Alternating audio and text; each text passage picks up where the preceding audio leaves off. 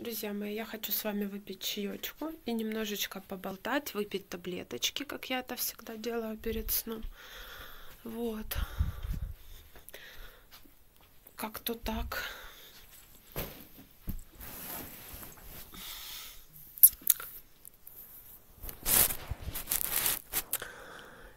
Так, сегодня Международный день или Всемирный день резиновых галош. Вот. Поздравляю вас с этим праздником. Кто-то из вас носил галоши? Я вот галоши не носила, зато носила валенки. Зачем? Потому что я жила на севере России, на Чукотке, там, где чукчи на оленях скачут и живут в фигвамах. Э, там, где э, деду оленину давали и на оленях давали покататься, вот, за самогонку нашу русскую. Я сейчас серьезно говорю, это моя родина, это типа родилась там, но я это считаю как бы своей малой родиной, скажем так, потому как э, в 4-5 лет я переехала в Украину, и мне 28, и я прожила все это время в Украине и считаю свою родину Украину. Я совершенно ничего, честно говоря, не знаю о России, вот кроме того, что я в принципе неплохо говорю на русском, потому как Донбасс это русскоязычный по факту край, да, вот. Тем не менее, я ничего в принципе не знаю о России. Я не знаю никаких там гимн, я в принципе знаю. Гимн почти полностью российский. А, и какие-то там, может, народные песни, так, знаете, слегка, там, может, где-то там несколько строчек подпеть, вот. А так я знаю гимн Украины очень, ну, как очень хорошо, полностью, блядь, у нас так, так прям э, нам вбивали в голову, что мы должны его выучить, что, что, что, а гимн я знаю прям полностью. Че? Ага, сейчас. В аптеку ходила, и у меня в этот был чехол от нетбука в руках – я туда пнула лекарство. Вот. Короче, короче, дело к ночи. Нас, короче, очень сильно штудировать заставляли украинские. Вот. У нас тогда тут такая была украинизация вот глобальная такая вот, очень много школ открывалось украинских. Но знаете, я ни о чем не жалею, я ни о чем не жалею, при этом я обалденно знаю украинский язык, вот участвовала э, в различных олимпиадах, заняла второе место на международной олимпиаде по языку нашему. Вот. Также я знаю множество украинских народных песен. Вот. Помимо, как я уже сказала, гимна, вот за исполнение гимна в торговом центре в Харькове я получила кошек Видвейрес, вот, и к Новому году притащила большую корзину а, всяких там солений, вот, а, огурцы, помидоры, горошек, а, что еще, а, икра там типа кабачковая, баклажанная, да, а, соки какие-то там овощные, по-моему, фруктовые, не помню, были, не были. Тем не менее, тем не менее, это клево, это клево. Вот, не каждый выйдет и споет э, гимн, вот. Не каждый его знает, раз уж на то пошло.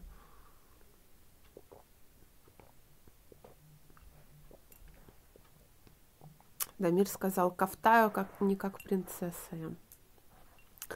Так что, ребята, не как принцесса я пью. У меня привычка, что я всегда куда-то тороплюсь. И она вот, она как бы не так давно появилась, скажем так, да. У меня такого не было, чтобы я и выхлебала все, да. Я сидела, смаковала всегда, вот, потихонечку кушала, наслаждалась. А сейчас покафтала и бегом, покафтала и бегом. Что, короче, меня это прям саму напрягать стало, вот это кафтание, вот. Жесть. Надо как-то учить себя наслаждаться чаем, а не ковтать. Причем на работе я очень медленно пью. Я, я очень медленно пью и вообще могу забыть даже о том, что я пью там чай или кофе. Вот. А здесь что-то по... Или просто он недостаточно горячий. Я привыкла вот прям очень горячий пить чай или кофе, да. И когда он очень горячий, его как бы не попьешь шибко быстро, а это как бы не сильно горячий. Ну ладно, ладно, короче. Короче, о чем это о чем это я? Я вообще не помню, к чему я все это говорила, к чему я это все говорила. Причем здесь русские, Россия, русские традиции. Что я хотела этим сказать? Ну что? Ну вот что я хотела этим сказать? Непонятно. Короче, я поняла, я вспомнила, я про валенки начала говорить. Вот у меня вот есть такая фишка, начали за здравие, закончили за упокой. Чи поперед батька в пекло лізти. Вот это все мое, вот это прям все мое. Короче, короче, я жила вот там вот на севере России, да, и, значит, э, считаю это своей малой родиной, скажем так, да, и там приходилось носить валенки. Вот.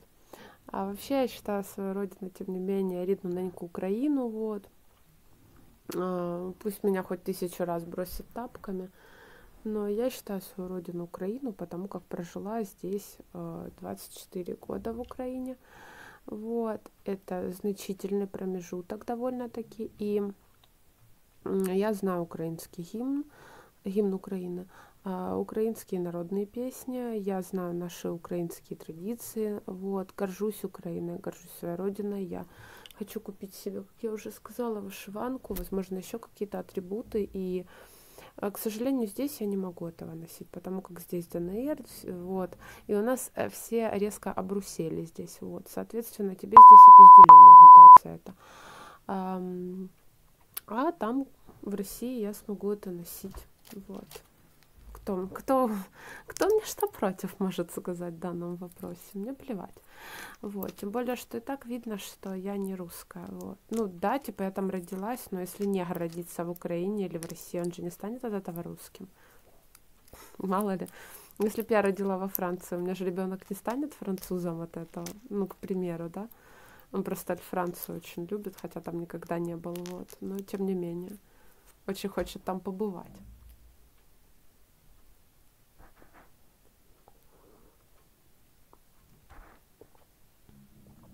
Ой. Значит, смотрела я только что мукбанг Баба Алена, как она жрала торт руками. Ну и она говорит, что если у вас есть какое-то такое вот желание заветное и так далее, что вы можете его исполнить. Мне вот иногда посреди улицы может срать захотеться. Вот. Что мне, не к чаю, конечно, но все-таки я вот беспонтовая, я могу об этом поговорить, вот. Жрать как свинья не могу, вот, не влезет, а вот поговорить об этом могу. Вот она говорит, выполняй, исполняйте, типа, свои желания. Вот у меня вот такой желудок интересный, вот мне может прямо на улице захотеться срать. Вот. Или мой моч- мочевой, он иногда бывает, берет вот после рождения малого, да, вот у меня бывает такое, что раз и резко приспичило в туалет. И все прям. Ух, мама родная. Это у меня еще с детства как бы на нервной почве. Мы, мы постоянно ездили лечить мои глаза, мое зрение, да, в другой город. Ну, как бы все та же схема здесь, Синоватая в Донецк, вот. И короче, короче. А, я все боялась, я ж маленькая была, я ж не знала, что там не особо далеко как бы ехать, вот. И у меня на нервах начинало хотеться в туалет, потому что я переживала, что это далеко ехать, а не дотерплю, вот. Ну и как бы в чем суть? Я проверялась, у меня все нормально, просто вот такой туалетный утенок. Я, я вот всегда, вот если есть возможность сходить в туалет, я всегда схожу, вот не, не знаю, это может на нервной почве, я, я не знаю, вот, вот такая хрень. Либо у меня мочевой пузырь, может, какой-нибудь маленький, или он там близко к чему-то примыкает, ну, либо я воды много пью, я ж как ебанута, вот. Я вот это вот, водичка полтора литрушка, это мне на день, а то может и не хватить. Это помимо того, что я еще могу чаечку несколько чашечек выпить, ну, чаще сейчас чай, чем кофе. Почему-то я как-то опять вот ушла куда-то в русло распивания чая, а кофе пьют только где-то. Кофе пью только где-то, либо на остановках где-то там в ларечках, вот. Сегодня обалденный латте пила в стритдогс, вот. Либо, я не знаю, в Дон Маке, ну, типа Макдональдс местный, вот. Либо там в каких-то шаурмичных, либо вот Royal, Royal Burger, как- как-то так, я не помню, вот. Где мне с трубочкой дали кофе, по-моему, так они называются, я точно не помню блин, волосы постоянно запутываются за сережку вот эту вот. У меня здесь такая сережка есть, вот тут вот ее не видно, да, она, ну, типа как э, этот, господи, да я все на свете вечно забываю, боже. Хард, хард, полухард, да, это хард. Вот. За нее постоянно цепляются, цепляются волосы. Я хотела... Боже, что тебе надо от меня? какое-то создание пишет мне, знаете, типа, ой, привет, сестра, к тебе можно так обращаться, но только он на английском пишет. я пишу, привет, что тебе как бы надо от меня? Я не знаю, насколько это... То есть каждый человек, когда видит э, сообщение от собеседника, он придумывает свою какую-то реакцию, свою интонацию от собеседника, да, хотя она может совершенно не соответствовать действительности. И нам может казаться, что человек на нас кричит, или что он на нас обижен, или подъебывает нас, хотя это совершенно не так, вот. И вот он такой пишет, ты чего? Я пишу, ну подожди, ну это же ты мне, блин, написал. Короче, жесть. Сейчас он мне скидывает мои видео с Ютуба, я так понимаю. Не знаю, что там, ссылки на видосы покидал. Сейчас пос потом посмотрю после видео, что там он мне накидал. Вот этот товарищ. Сегодня подходит какой-то парень. Подходит и говорит, девушка. У него папочка в руках. Я думала, сейчас, блядь, начнется соцопрос. И я так не смело как-то повернулась, чи не повернулась. Особо на него не глядя, я такая, типа, что? И такая уже стою, боюсь, что ему надо от меня. Он говорит, а у вас не будут сигареты? Я говорю, ну сам открывай, говорю, пачку, потому что у меня был вот этот чехол в руках, у самой сигарета в руках, телефон как-то пытаюсь положить в этот в сумку, перчатки еще в руках, вот, и мне еще вот это не хватало колупаться стоять, открывать пачку. И короче, он же открыл все это, говорит, вот, говорит, от души душевно в душу там что-то да, вот как-то так он сказал. Просто мне кажется, что он еще что-то добавил, вот. И улыбается такой стоит, такая, да, пожалуйста, как бы. Но он так не смело подошел. Уже знаете, мы переходим дорогу с Леной. Господи, да говори уже, что тебе надо. Вот скажи, что тебе надо, все. Мы решим этот вопрос быстро. Да-да, нет-нет, как бы, да, зависит от того, что человек от меня хочет. И все, я погнала. Вот, нет же, вот это стоит несмелый. Вот. Ну, знаете, лучше, лучше когда не смелый вот такой вот человек к тебе обращается, вот не смел, с несмелой просьбой, чем когда в наглую на прополу ломит то, что ему надо, да, и что тебе совсем не, не может не понравиться. Вот. Короче, в общем-то, о моем мочевом пузыре. И вот, а, значит, мне может захотеться в туалет, я же говорю, я очень-очень сильно много жидкости еще пью, вот я, я воды пью, боже, я столько воды пью, это капец. И, в общем-то, в туалет мне может приспичить где угодно. Еще я люблю очень пепси без сахара. Но пепси без сахара стоит дорого, поэтому я покупаю редко. Вот. Хотя есть любимая у меня, одна из любимых блогерок в Инстаграме, которая постоянно пьет пепси без сахара. Я ей завидую. Я ей пиздец как завидую, блин. Она пьет постоянно эту пепси без сахара. И я такая думаю, блин, ну она же стоит рублей 100, наверное, двухлитровая. Откуда у тебя столько денег? Откуда у тебя столько денег? Я тоже так хочу. Я тоже так... Я и по-доброму завидую. Я просто тоже хочу так же. И я, типа, ну, не, не думаю о ней ничего плохого. Типа, там, ах ты дрянь маленькая. Нет, нет. Я, я по-доброму ей завидую. Хорошая девчонка.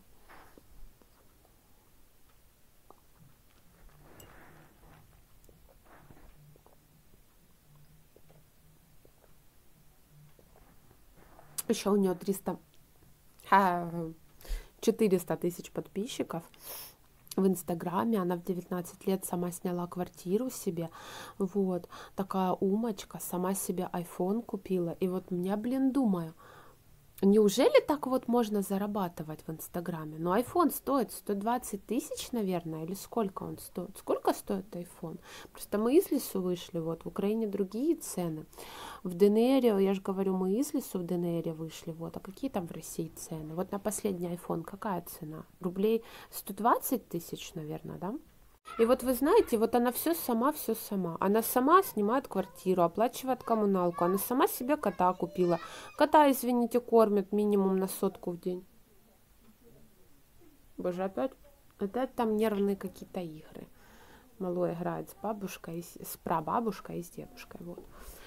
Значит, значит, а я вообще пришла чайку попить, переодеться и с вами быстренько поболтать. Ну, просто иногда быстренько не получается у меня. И короче. И вот она вся такая сама-сама. А, девка хорошая. Ну, как бы мне нравится то, что я вижу, скажем так. Я, я ее как человека не знаю, но мне нравится то, что я вижу. Да? Мне нравится ее страница в Инстаграме, мне нравится ее сторис. В Телеграме я ее не смотрю, больше я ее нигде не смотрю, если она еще на каких-то платформах есть. Вот. Но, но мне все равно непонятно, как молодая девушка может зарабатывать такие бабки. Вот скажите, развейте мне сомнения, может ли молодая девушка тратить на рекламу в Инстаграме 100 тысяч. Ну, типа, ебать, тебе не жалко 100 тысяч? Типа, они окупятся? Как вот она вот потратила 100 тысяч на рекламу, покупает себе, вот, снимает квартиру сама себе, покупает себе iPhone, э, коммуналку оплачивает, шмотки себе покупает, помогает э, предкам. Что, реально можно столько зарабатывать? Ну, просто вот буквально год-другой тому назад я смотрела ее, ну, давайте без пиздежа, давайте так, года два тому назад. Хорошо, вот чтобы вообще по-честному, хорошо, в семнадцатом году точняк. Вот тогда прям точняк. У нее было мало подписоты еще. И не сильно развит канал. Вот. То есть, если в семнадцатом году так было, где-то в восемнадцатом, наверное, она стала потихонечку набирать обороты, у нее чутка получше стала вся ситуация. И я вот сейчас смотрю, 19-20 год, вот такая ситуация. То есть девка конкретно начала зарабатывать. Она прям начала зарабатывать и вот мне интересно, тут как бы рыльца в пушку, тут что-то нечисто или реально в 19 лет или реально я же говорю, снимать хату, покупать все продукты, покупать шмотки, оплачивать коммуналку, кормить кота, купить кота, в принципе, не дешевого, породистого, да. Купить себе iPhone, блядь, последней модели, помогать предкам, сказала, не сказала. Продукты, блядь, покупать охуенно дорогие. Просто я вот иногда вижу, что у нее дорогая косметика, те же какие-то крема, еще что-то, маски вот эти вот на лицо, да, для лица. Вот у нас, допустим, маски для лица, вот я хожу по магазинам, я вижу средняя цена 120 рублей на вот эти тканевые масочки. Патчи у нас рублей по 500 в среднем. И вот скажите мне, если такие цены, и на каждый день кладет себе по нескольку раз на день патчи, иногда вот так по всему лицу, а их, извините, в коробке сколько? 20-25 штук? Сколько их там штук в коробке этих патчей? Я не в курсе. Вот. А, маски такие дорогущие по нескольку раз на день делает. Еще помимо этого делает просто вот там из тюбика, да, маску на лицо. Нарощенные волосы. Сколько волосы нарощенные стоят? У нее уже штук 9, наверное, татух. Татуировки, особенно качественные, они вообще очень дорого стоят. Всякие приблуды для волос дорогие. Она себе ногти делает в охуенном салоне. Вот скажите, пожалуйста, вот можно заработать в 19 лет такие бабки? Родители у нее весьма не богатые, а очень середнячковые. Живет она в Чебоксарах, да? Вот объясните мне, вот реально такие бабки зарабатывать с канала? Я как бы дело в том, что я не хочу наговаривать на человека, вот, потому как я не знаю все правды, и она мне реально очень импонирует. Ее зовут Аня королева вакуума или богиня, вак, богиня вакуума, да, вакуум, упражнение вот это для живота. Кстати, у меня когда были проблемы сильные с желудком, с животом, у меня когда малой родился, у меня начало постоянно вздутие живота беспокоить, вот. У меня постоянно был какой-то вот этот животик, вот, причем от любой еды, абсолютно от любой. И тут, короче, я открыла для себя упражнение, вот это вакуум, вообще интуитивно. Я о нем ничего не знала, просто я стала его делать. Я вдруг поняла, что когда я так делаю, у меня живот не болит, не вздувает, ничего, все прекрасно. Вот. И я такая думаю, блин, какое классное упражнение, буду его и дальше делать. И тут я узнаю через время. Вот, буквально не так давно, скажем, я в 14-м это упражнение делала, да, допустим, и узнала о том, что это упражнение называется вакуум в 17-м, да. То есть, блядь, прошло три года, получается. И тут я узнаю, что, оказывается, такое упражнение есть. Это не я первооткрыватель, оказывается. Оказывается, есть такое упражнение, люди его делают, у него есть название, оказывается, да. Вот, вот так вот. Короче, и вот баба Алена рекомендует, если вот что-то прям сильно захотелось сделать, вот если мне захотелось поссать прям на улице, вот дико, прям сесть и поссать или что? Ну, с одной стороны, да, это не мое заветное желание, но мне же захотелось. А может меня вдруг, э, я не знаю, вдруг сейчас, вот я наконец-то встречусь с мужем, он зайдет ко мне в кабинет на работе, и вот все, страсть, эмоции, а, и нам прям в кабинете у меня? Нет, ну это, конечно, вариант, вот. Ну окей, а если вот, если вот мы на улице с ним встретимся, нам прям на лавках возле МРТ там, ух, джазу дать. Ну, а, а захотелось сильно, а что, а что, а что такого? А что такого? Вот. Потом, что мне еще такого хотелось бы? Вот прям вот какие-то заветные желания, прям, я не знаю, у меня никаких прям э, экстраординарных желаний нет. Вот я иногда хочу попеть, э, взять гитару, пойти в переход песни петь. Э, ну, типа просто. Ну, типа, а что нет? Меня почему-то никто в этом желании не поддерживает, хотя раньше я так делала с местными ребятами, вот, в Донецке. А, я могла с ними выйти в переход и песни попеть, вот. Такие донецкие обрыганы наши местные, вот.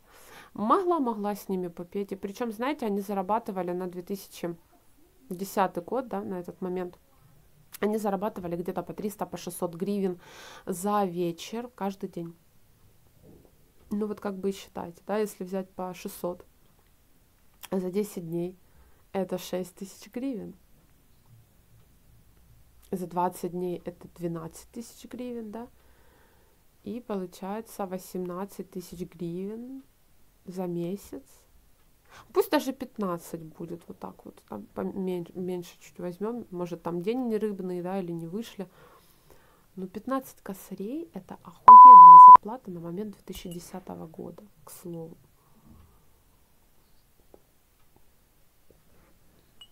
И у нас тут их столько тогда было, этих спивунов. И, в общем-то, в общем-то, а, она вот говорит, да, если вот прям приспичило, вот надо делать. А, ребят, ну давайте мы не будем путать, как бы, такие моменты. Но вот мне очень хочется залезть. Э, у меня никогда не было такого момента, вот как сейчас есть в торговых центрах э, мячики. И э, вот эти вот, да, как это сказать, бассейн, бассейн из мечей, вот эти вот все, э, как они называются, господи, лестнички, там всякие горочки, вот это вся при, приблуды эти все. И я, короче, шип сильно хочу, я пиздец как хочу взять и залезть вместе с детьми туда и, короче, и, и лазить там, и играть. У меня такого не было в детстве. Мне так и сделать? Ну, во-первых, меня не пустят. Вот как мне быть, если меня не пустят? Вот что? Какая есть альтернатива этому желанию? Вот у нее там девушка одна писала, что она хочет побриться на лысо, а муж сказал, что выгонит ее, вот. И если, да, типа побреется. И Алена ей посоветовала сбрить затылок и угомониться. И вот, короче, а у меня какая альтернатива? Может, мне топовый блогер посоветует какую-то альтернативу? Что вот мне делать? Вот если я хочу залезть в торговом центре, в бассейн вот этот с шариками, там, где дети гасятся. Или у меня тупое желание. Или она сейчас начнет делить желания на тупые, психические, да, как это она с анорексией сделала. Или нет. Вот. Ну, то есть, как, как вот, как вот мне быть с этим моим желанием? Вот. Что вот мне делать теперь? Продолжать мечтать, вот. Несбыточные мечты или что? Что вот мне делать? Вот есть, короче, какая-то альтернатива или нет? Я не знаю, я настолько, наверное, я не знаю, хочу покрасить волосы в какой-то, я не знаю, в красный, в малиновый, как у Юськи ФМ. А, хочу мал- малиновый, блядь, какой-то такой ядреный, блядь, оттенок. Или дреды хочу зафигачить. Дреды прям пиздец хочу. Хочу татуировку на руке. На руке вот тут хочу татуировку себе. Вот может здесь где-то, вот может небольшую, может большую. Я хуй, хочу татуировку. Может здесь еще где-то хочу татуировку. Вот, вот прям сбоку. Вот на шее, но прям сбоку. Вот хочу. Вот я пока не, не знаю. Вот хочу. Если я буду делать все, что я захочу, у меня, во-первых, место живого на мне не осталось. Я, я буду как ебанашка выглядеть. У меня будет пиздец сколько татух. Я вся буду обколота пирсингом, как булавочки, но знаете и у меня будет что-то непонятное на голове. Нужно как-то думать. Нужно думать, действительно ли ты этого хочешь. Я вот всегда думаю, действительно ли я этого хочу. Я задаю себе этот вопрос. Или это мое временное помутнение, временное желание. И, знаете, многие мои желания на самом деле отступают. И остаются только истины, которые я действительно хочу. Выйти в поле поорать, знаем, можем, практикуем, пробовала, вот. Покрасить волосы в яркий цвет, знаем, можем, практикуем, блядь, вот. Подстричься под мальчика, не вопрос, тоже пробовала. Покраситься в яркий цвет сейчас, да, спустя столько времени, когда мне по тридцатник, вот, тоже могу. Просто не считаю это чем-то неординарным, наверное. Я, наверное, очень многие вещи, я в принципе себе не отказываю. Нет, я не сажусь срать все-таки посреди асфальта, да, или посадь. Вот. Но а, я, в принципе, себе не отказываю. Либо мои желания такие вот весьма адекватные, да, но тут с какой стороны посмотреть. Просто я торт руками не буду жрать. Знаете почему? Потому что я, во-первых, уважаю труд кондитера, для меня это какое-то вот бого, э, не богохульство, да, богохульство это все-таки э, в религии, да, может членов, членовредительство? Нет, наверное, тоже не подходит. Может быть это мародерство или как это называется? Что-то типа того. А, я не знаю, как это назвать, но мне как-то вот жалко кондитера, который так старался, так вот это вот готовил. И тут какая-то свинья берет и вот это все руками перетелепает. Мне вот интересно, торты, я не буду сейчас акцентировать внимание, что это в принципе недорого. А может и родственники вообще не знали, она сейчас выкинет эти остатки торта, да, там у нее второй припасен для родственников, да. Я не знаю, может торт недорогой или у них зарплаты хорошие, она пошла, короче, купила сразу два торта для ебучего видео себе, вот там, да, и для родственников. Ну, как-то я не знаю, ты типа приходишь, был торт, а, а твоя жена в нем вот так вот переколупалась, типа, вот кому этот торт теперь, вот кто его будет есть, родственники это будут доедать, или она сама будет сидеть потом дальше доедать. Это некрасиво. Я считаю, что торт лучше попить с чаем со своими там мужем, сыном, допустим, да, попить с чайком этот торт, вот, угостить кого-то этим тортом, попить торт э, на празднике, вот, в конце концов, да, а не так ты типа села и в одно рыло въебала этот торт огромный. Мне вот вообще непонятно, вот как, как так, как вот можно. Еще у него был, короче, видос, где она жрала пельмени жареные. Пельмени жареные, это, короче, фишка как бы, да. Только она жрала бульмени. Мне кажется, они еще более жирные, чем... Мне нравятся малюсенькие пельмешки. Вот. Когда мне было 12 лет, я, я пришла к подруге домой, она нажарила пельмени и сказала, что они как маленькие чебуреки, это типа вкусные пиздаты. Это реально так и было. Но вы знаете, в 12 лет это была маленькая детская забава. В 14 лет это было прикольно. А, когда гормоны плескали, да, скажем так, и мне хотелось то того, то пятого, то десятого во время беременности. Тоже один раз поела пельмени жареных, вот. И больше, наверное, нет. Пельмени жареные встретились в моей жизни, наверное, раз пять максимум э, за все мои 28 лет. А, и с 12 лет, да, я их впервые попробовала. Вот за все эти годы я их, наверное, ну максимум раз пять поела. И, честно говоря, не вижу здесь, ну вот сейчас я не буду это есть. Я не вижу в этом сейчас ничего вкусного. В принципе, чебуреки я не шибко-то хочу, тоже особо ничего вкусного. Жареное э, тесто или сварено в масле тесто вот с кусками фарша. И чаще всего магазинные пельмени это не самое лучшее мясо, скажем так, в принципе, в принципе. Особенно, когда вы на кулинарии что-то покупаете, вы должны быть готовы к тому, что в блинчик туда не положат хорошее мясо, скорее всего, а то, что уже портится. Курочку не пожарят просто так в гриль, да, а только ту, которая уже срок годности подходит, и которую уже не купят. Я как человек, который общался с теми, кто работает в супермаркетах, эту фишку знаю. Так вот, ну вообще лет в 12, в 14 мне было тоже по приколу пожрать вот так вот, а облить это все.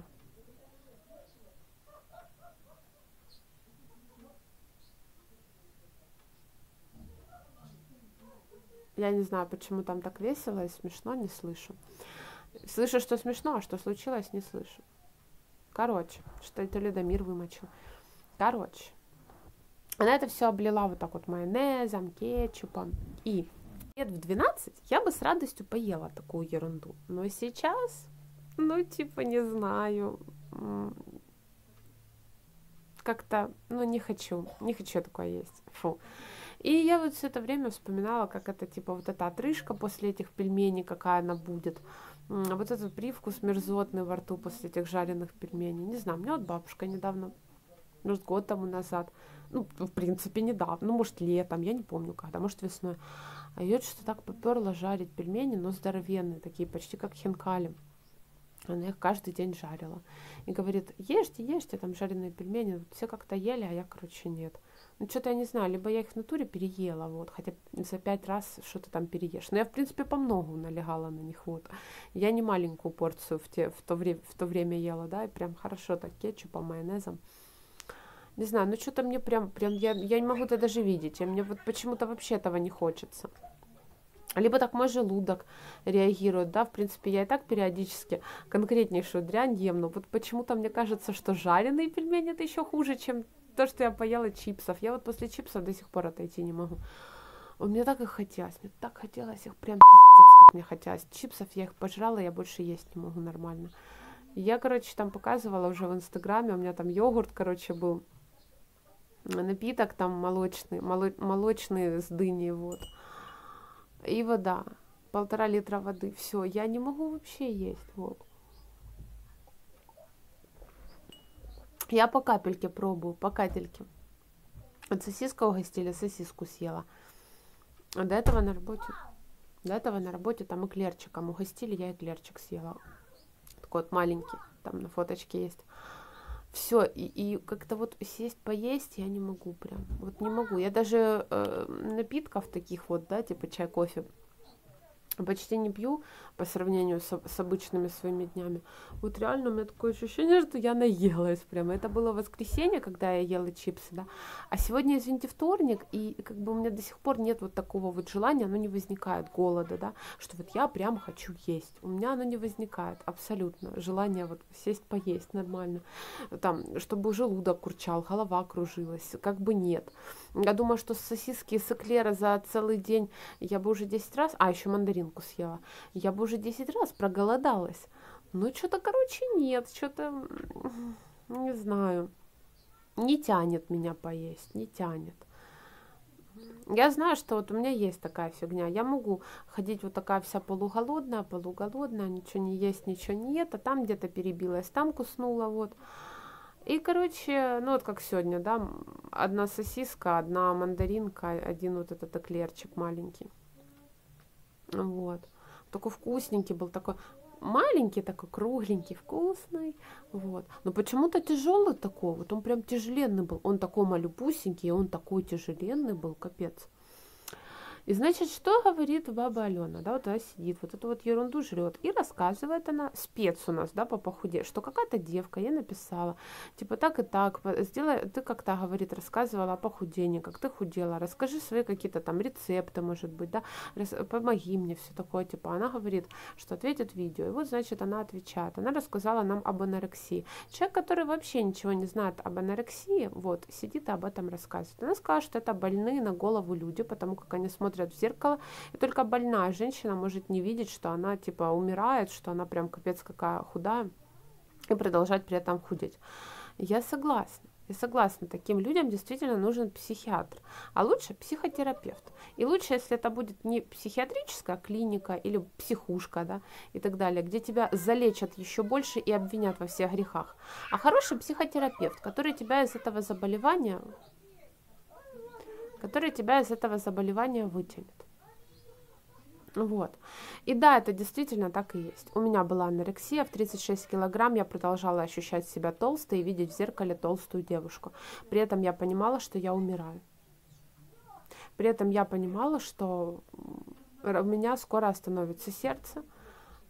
Я чувствовала себя энергичной, скажем так. Но у меня были ужаснейшие судороги, но я была очень энергична, очень. Я прекрасно там в автобусах стоя ездила, на работу моталась, толком не спала, все как всегда. Все как всегда, все на износ. Но при этом я понимала, что 36 килограмм при росте метр семьдесят один это не норма, и э, я боялась, что у меня вот-вот остановится сердце. Вот, я очень переживала на сей счет. Мой желудок а, в одно время отказался принимать любую еду, в том числе а, жидкую. А, даже от воды я блевала, мне было плохо, ужасно. В принципе, я рассказывала какую-то часть своей жизни и о анорексии, и булимии, вот в том числе. вот, в предыдущих видео не вижу смысла повторяться, потому как я там долго тоже вещала об этих заболеваниях, как они произошли со мной в моей жизни, как я выходила из них, вот. Но единственное, что скажу, психушка это не вариант вообще. И псих, психиатр в обычной поликлинике тоже не, не вариант. На тот момент о враче-психотерапевте я не знала. А, психотерапевта я впервые встретила у себя на работе в... Сейчас. В прошлом году. В прошлом году я впервые встретила в апреле. Я встретила или в мае, в начале мая или в конце апреля я впервые встретила врача-психотерапевта, которая взялась мне помочь, но уже не с фигурой, а она решила мне помочь а, с моими взаимоотношениями с родителями. Я очень виновата себя чувствовала во многих моментах. А, но при этом мне казалось, что все-таки я права, вот. И, в общем, мне нужно было понять, виновата я или не виновата, права я или не права. А мне нужно было рассудить меня, мне нужно было расставить по полочкам мои эмоции. Я постоянно пребывала в депрессии, я все время плакала, я не могла спать, вот. Эм. Мне было очень-очень плохо, очень плохо.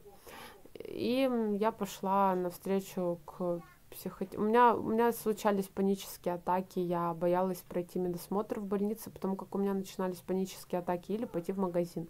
Виной всему этому э, были мои взаимоотношения с родителями, как оказывается, даже они из-за того, что со мной происходило, вот на психологическом уровне, вот это вот все, да, виной этому вот они давали, вот я начинала думать об этом, переживать, и у меня начинались панические атаки, по факту это так. У меня были а, задышки, я вот так вот дышала очень сильно, не могла никак надышаться, искала причину, а причина оказывается психологическая, вот. А, вы знаете, мне легче. Дело в том, что, во-первых, психотерапевт мне не сказал вообще ничего нового, мне все то же самое говорил муж, абсолютно все то же самое. Но мне действительно нужно было узнать мнение человека со стороны, мнение человека, который ничего не знает о моей жизни и мнение которого не будет субъективным, скорее всего. Вот, который объективно мне скажет, это ты виновата в том, что так и так с родителями, или это они виноваты рассудить их поведение, рассудить мое поведение. Мне было важно выяснить причину моих, психолог... моих панических атак вы знаете, они прекратились. Но зато у меня голос пропадает. Панические атаки меня преследуют по сей день очень, очень, очень редко. Скажем так, практически никогда. Вот. У меня еще остались отголоски, когда резко на улице может голова закружиться и перестать. Так же резко. То есть прям вот она не, разви, не развивается, паническая атака, прямо вот так вот в таких масштабах, как это было до этого, да, что я не могла ни в автобус зайти спокойно, ни в магазин, ни, никуда, никуда, где люди, где скопление людей, я была как социофобка, вот, мне так становилось плохо, то есть я решила эту проблему, я действительно ее решила, но не до конца. Она, и также я пребываю в очень таком подавленном настроении, и мы с ней разговаривали, она говорит, что тебя делает счастливой? Я говорю, меня делает счастливое приготовление вкусной еды. Я очень люблю готовить, на самом деле, безумно люблю готовить, и безумно люблю экспериментировать с новыми блюдами. Люблю готовить много, вот. Люблю готовить разнообразное меню. И э, я этого не делаю. Я очень люблю петь. Очень люблю петь, особенно украинские песни, вот. Очень люблю петь, безумно, вот. Я люблю переодеваться и петь, собираться куда-то и петь, готовить и петь, купаться и петь. И я все время люблю, я так люблю петь. И я не пою сейчас, потому что, ну, блин, я живу с родителями, я не могу петь. Я не могу даже одеться так, как я хочу. Почувствовать себя вольнее, свободнее, а не накидывать постоянно на себя халат. Вот. И все эти моменты, эм, я себя зажимаю, я себя стопую на всем этом, да. Получается, я не делаю вообще ничего из того, что делала бы меня счастливой. И получается, что из-за этого у меня тоже вот депрессия, подавленное плохое настроение и так далее. Я, в общем-то, очень многих вещей не могу делать, которые мне доставляют удовольствие. Поэтому это все очень сложные вопросы под анорексией тоже. И что самое стрёмное, что вот сидит такая мадам, и вгоняет людей в булимию. Вот. Почему я так говорю? Потому что а, есть девушки, которые следят за собой, да, следят за своей фигурой, и тут какая-то вот кобыла им рассказывает. Нет, нет, ешьте, девочки, ешьте. Ничего, что вы поправитесь. Ешьте. Надо кушать. Попка округляется, щечки розовеют, да? Так же она рассказывает. И сидит, показывает, как она жрет. И есть люди нормальные, как бы, да, психически к этому восприимчивы, а есть люди ведомые, которые думают, типа, я вот это сижу, вот это вот мучаюсь на диете, у нее все так пиздато, давай-ка я буду жрать. Но люди, у которых